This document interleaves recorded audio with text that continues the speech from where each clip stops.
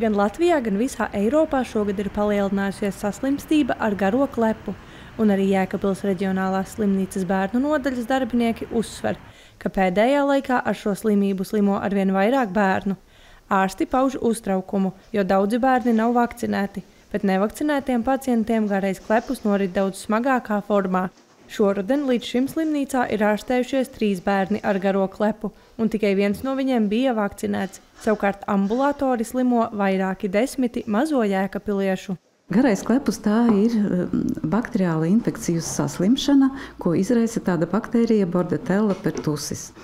Viņa pieķeras uh, elpceļu skropstiņa epitēlijiem un bojā elpceļu grotādu. Un tas izraisa klepu, kas dinamikā paliek ar viens stiprāks, eh, lēkmeveidīgs. Sākumā tas var likties, ka tā ir vienkārši augstēšanās slimība, bet, teiksim, otrajā nedēļā, jo klepus paliek ar viens stiprāks, ir grūti ievilkt telpu.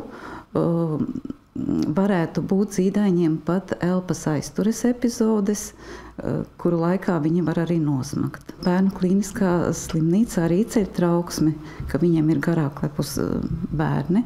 Tā slimšana norit ļoti smagi un bija gadījums šķiet pirms diviem gadiem, kad zīdainītis nomira no garāk lepus. Visefektīvākā aizsardzība pret saslimšanu ir vakcinācija.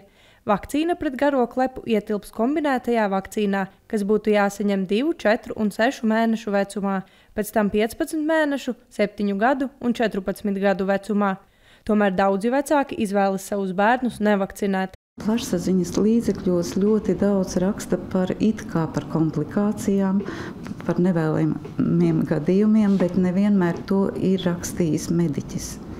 Vecāki vienkārši tā uztver, tās problēmas, ka tās ir visas saistītas ar vakcināciju. Un, un, un to atspoguļo presē, un līdz ar to baidās vakcinēt. Ārsti aicina vecākus būt atbildīgiem un vērsties pie ģimenes ārsta, lai bērns saņemtu kombinēto vakcīnu pret garo klepu, difteriju un citām slimībām. Ja tomēr bērns ir saslimis un klepo, ir svarīgi viņu nevest uz bērnu dārzu vai skolu, bet gan doties pie ārsta, lai noteiktu, vai tas nav garais klepus. Ja bērns ar garo klepu turpina doties savās ikdienas gaitās, viņš aplipina pārējos, jo slimība ir ļoti lipīga. Tāpat pacientam var rasties dažādas komplikācijas. Garā klepas komplikācijas ir pneimonija, atelektāzes, arī krampji var būt un encefalīti. Sakarā ar skābekļa nepietiekamību visam organismam un smadzenēm arī tā skaitā. Garais klepus var noritēt arī vieglākā formā, bieži vien bez paaugstinātas ķermeņa temperatūras. Tādēļ ir svarīgi bērnus vest pie ārsta pat tad, ja nav aizdomu par kaut ko nopietnu. Ārsti aicina ar atbildību attiekties pret vakcinēšanu, jo tikai tā var pasargāt savu bērnu no smagas saslimšanas. Jāņem vērā, ka vakcīna pret garo klepu būtu ieteicama arī grūtniecēm, jo tā var pasargāt zīdaini līdz vakcinācijas vecuma sasniegšanai. Kā te Katrīna Strode, Sandra Paigļa Kalne, Kaspars Daniļevičs, Vidusdaugavas televīzija.